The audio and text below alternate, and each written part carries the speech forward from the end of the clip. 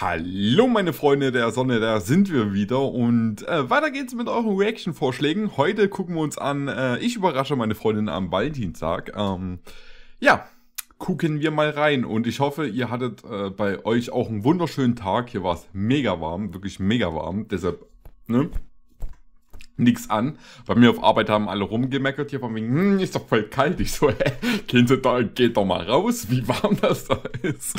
Aber ja gut, das ist eine andere, andere Story.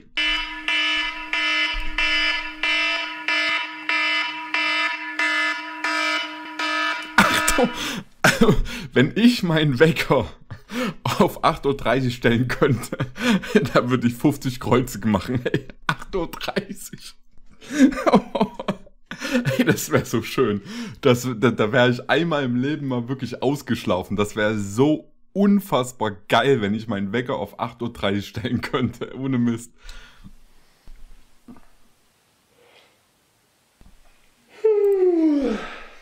Guten Morgen, Freunde. Gerade Guten Morgen. Und heute wird ein geiles Video. Das hier wird wahrscheinlich das coolste Video auf meinem YouTube-Channel. Ich habe eine Beziehung, eine Fernbeziehung, wie einige von euch bestimmt schon mitbekommen haben auf Instagram. Und es ist Valentinstag in zwei Tagen. Das Problem ist nur, am Valentinstag muss ich nach Berlin fahren auf ein Videodreh. Großes Projekt, das wird sehr nice mit Jonas. Ich weiß nicht, ob ihr Jonas kennt. Ich und meine Freunde sind jetzt knapp ein halbes Jahr zusammen ungefähr. Das bedeutet, das wäre unser erster Valentinstag zusammen. Damit wir uns aber doch zumindest ganz kurz sehen, habe ich mich entschieden, heute den ganzen Tag Zug zu fahren, zu ihr zu fahren für einen Tag und werde sie bei ihr zu Hause überraschen. Sie hat keine Ahnung, das als ich ihr erzählt habe, dass wir uns jetzt über einen Monat nicht sehen und auch am Valentinstag, habe ich eine Bildschirmaufnahme gemacht und sie hat halt einfach Ich muss ganz ehrlich sagen, ne? Ich finde im Video da oben die Steckdose, finde ich voll interessant. Ne? Ist total bescheuert, aber ich finde die Steckdose da oben sehr interessant. Weil ich mir so denke, was kann man, also was sollte man da oben reinstecken?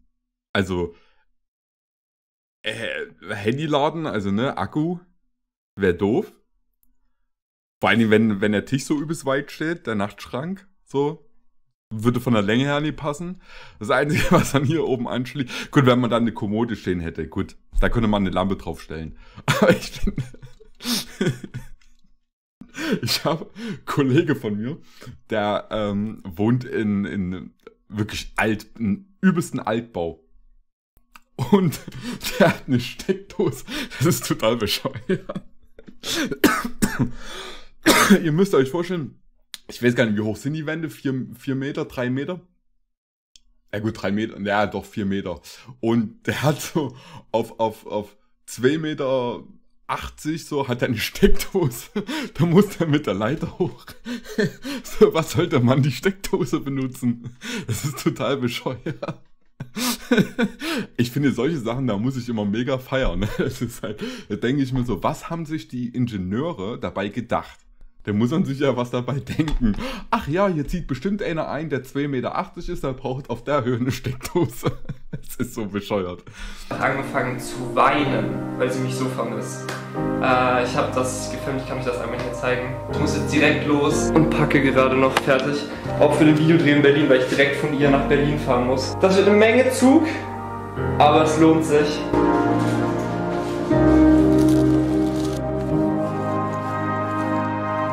Das war aber jetzt schnell ausgesucht, die Blumen.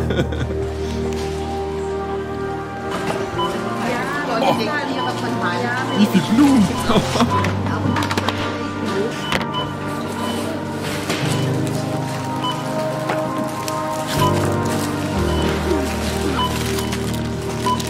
So, ich bin jetzt im Zug. Ups.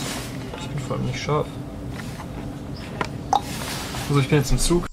Sage ich übrigens zu meiner Kamera auch nicht. Wieso bin ich nicht scharf? Aber witzigerweise ist, der Fokus ist komplett richtig. Das ist einfach mein Aussehen. das ist einfach mein Aussehen. Deshalb dagegen kann ich halt nichts tun. Ne? Also da kann ich meine Kamera so scharf stellen, wie es geht und den Fokus ausstellen, dass alles fokussiert wird. Kann ich auch mit der Kamera.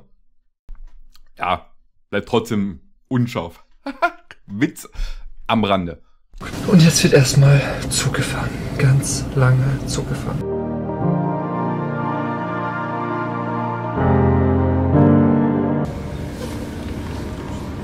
Das war aber kurz. So, ich bin jetzt im Bahnhof, da wo sie wohnt. Ich bin angekommen. Werde jetzt von ihrer Mom abgeholt. Hoffe, dass ihre Mom ihr nichts erzählt hat. Und dann geht's gleich los. Freunde, ich bin jetzt bei Annika auf ihrem Bett und sie ist noch in der Schule und wird um 14.45 Uhr abgeholt und ist dann so um 15 Uhr hier. Und ich zeige euch jetzt erstmal, was ich ihr als Geschenk für den Valentinstag gekauft habe, mit Ausnahme davon, dass ich überhaupt schon da bin.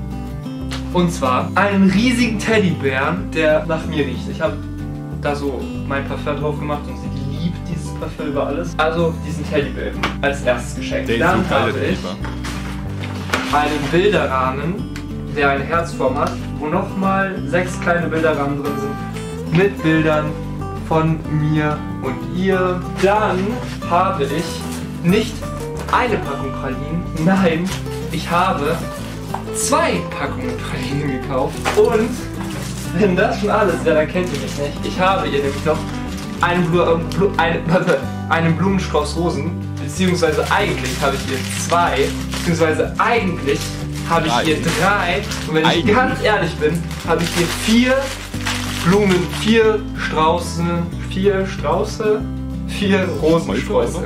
Strauße? Egal, vier Rosensträuße gekauft. Also, zwei Packungen Pralinen, die glaube. der Teddybär, der nach mir riecht und riesig ist und vier Sträuße. Das ist übrigens genauso wie, wie ähm, voll viele sagen ja Büsse.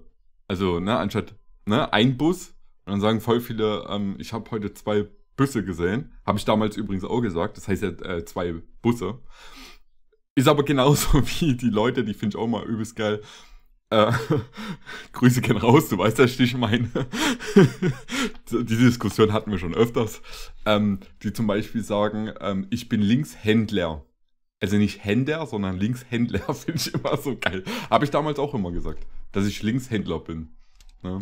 vier Rosensträuße. Und das baue ich jetzt hier alles schön auf und stelle verschiedene Kamerapositionen auf, dass ihr seht, wie sie reinkommt, dass ihr seht von da, wie wir hier sind, dass ihr vielleicht einen im Flur, wie sie zur Tür reinkommt und so. Ich denke mir jetzt ein paar coole Sachen aus, baue das alles auf und ich hoffe, Annika freut sich. Wie viele Kameras er hat. ey. Ich habe eine. Okay, zwei mit Handykamera.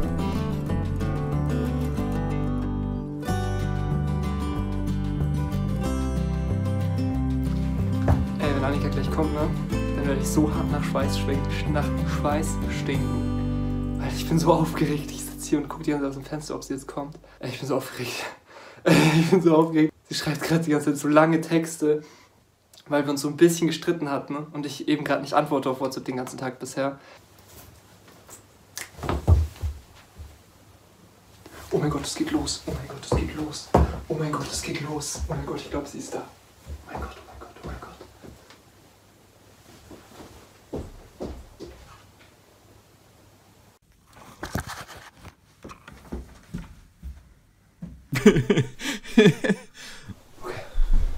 Ah, sowas finde ich echt süß. Licht an. Anderes Licht Das ist wirklich wahre Liebe. Kamera an. Alter, ich bin so aufgeregt. Oh mein Gott. Scheißegal.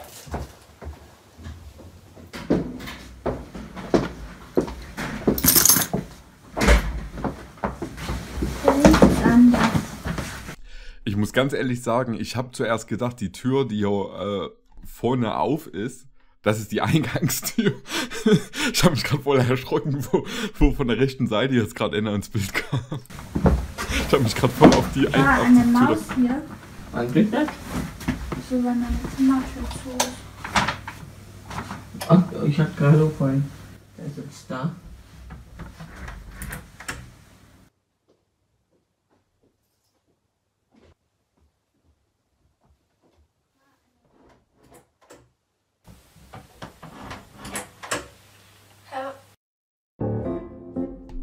Wenn du nicht Boah, das genug so Jod hast, dann arbeitet dein so Gehirn geil. nicht auf Ey, Hochtouren. wirklich. Dann hast du kein Happy Valentine's Day.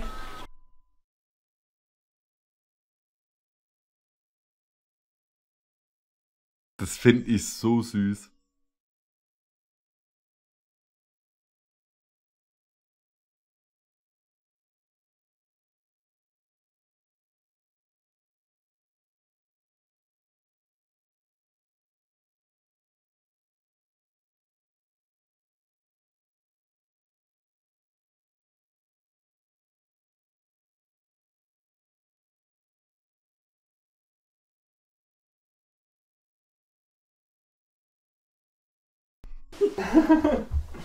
Okay, wir melden uns später wieder.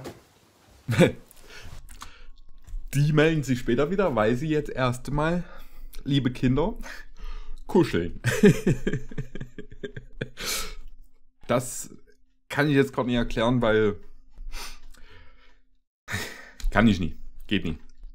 Die machen Sachen, die, die, die. Nee. Lass mich erwürgt. So, wir haben jetzt den nächsten Morgen. Und. Sie muss gleich in die Schule und ich muss gleich nach Berlin. ja, und ich habe mich mega gefreut, dass er mich überrascht hat. Dankeschön. Also, wieso man mein Kuscheln nackt ist, das müssen eure Eltern erklären. weil. Ist halt so. Ich bin todmüde. Es ist Ich noch nicht mal sieben. Ich hab Durst. Ich habe dir Tee gemacht. Dankeschön. Für alles. Kannst du das Haar da hochmachen?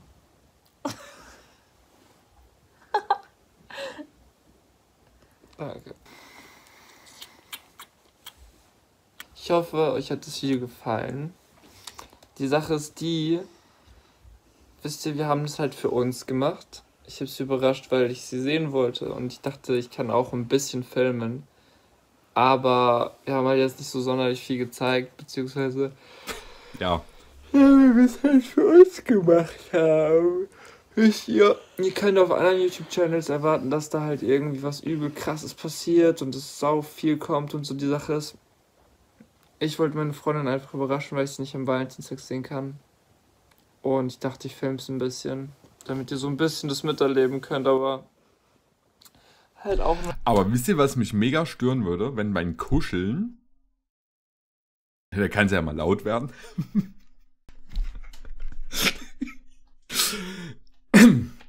Entschuldigung. Ähm, wenn die Eltern irgendwie ein Zimmer weiter pennen oder so. könnte ich, könnte ich nicht. Also, da könnte ich nie kuscheln. Also da, da, nee, da wäre da, da müsste man leise kuscheln. Irgendwie. Versuchen, zumindest. Mund zu halten beim Kuscheln. noch ein bisschen. Kannst du es wieder hochmachen, das Haar?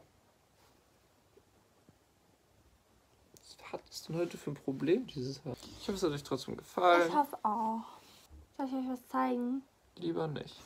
Seht ihr das? Sorry, ich muss es kurz sagen. Seht ihr das? Er hat das auch. Mein ha Arm fällt ab, ich kann nicht mehr halten. Den Haram? Mein Haram. Warte, ach so. Hier ist ähm, Ein mein Video? letztes Video, da bin ich mit dem Bobbycar an McDrive gefahren. Hier in der Mitte kann man abonnieren. Und da ganz hinten rechts. Nee, da tue ich das Video rein, wo ich den ganzen Tag zu allem, was du gesagt hast, Ja sagen musste. Gut. Bis zum nächsten Video. Zum nächsten Video. Jetzt muss ich den ganzen Tag nach Berlin fahren. Und ich in die Schule. Oh, das finde ich so. Ich, fi- ich finde das erstmal cool. Ähm, die Videos und den Abonnier-Button finde ich sehr cool. Der gefällt mir. Ähm, vielleicht bin ich farbenblind und ich sehe es gerade nicht. Ey, finde ich so unfassbar, muss ich wirklich sagen, so unfassbar süß und ähm, das sollte man, wenn man die Person wirklich richtig, richtig, richtig liebt, sollte man das der Person auch immer zeigen. Ähm, auch so Kleinigkeiten, einfach mal, ne, man muss nicht auf Valentinstag warten, das habe ich auch schon mal in einem anderen Video gesagt. Es ist auch mal schön, wenn man einfach seiner Frau äh, einfach mal so, einfach mal Rosen mitbringt. Oder mal einen Teddybär. Oder mal ein Parfüm. Einfach mal so Kleinigkeiten. Oder auch einfach mal selbstverständlich, ich weiß, das ist für viele zu viel verlangt. Aber einfach auch mal den Müll rausbringt. Nee, immer hier von wegen, dass die Frau immer sagt, komm, jetzt roll mal weg, jetzt äh, bring mal den Müll raus, sondern einfach mal, in, in einer Partnerschaft gehört das einfach äh, dazu. Dass man wortlos einfach mal auch mal was macht, was wiedergibt. Und ich finde, die Beziehung, das ist so ein ganz großes Beispiel, ähm, dass, egal wie weit man äh, voneinander entfernt ist, dass, äh, ja, Liebe keine Grenzen kennt. Also, es gibt in der Liebe keine Grenzen. Also ihr könnt auch je, äh, jemanden lieben in Grönland. Norwegen oder irgendwo in äh, Kap der guten Hoffnung, also irgendwo in Südafrika oder sowas. Liebe kennt keine Grenzen. Das Einzige, was Liebe stoppt, ist, ähm, wenn man sich selber Grenzen setzt. Und das solltet ihr niemals tun. Niemals. Wenn ihr die Person wirklich liebt, immer für die Person kämpfen, immer für die Person da sein und äh, was auch ganz wichtig ist, immer ein offenes Ohr zu haben. Und ich hoffe, es hat euch ein bisschen gefallen. Wir sind definitiv dativ, akkusativ in der nächsten Aufnahme. Bis dahin, haut rein und tschüss.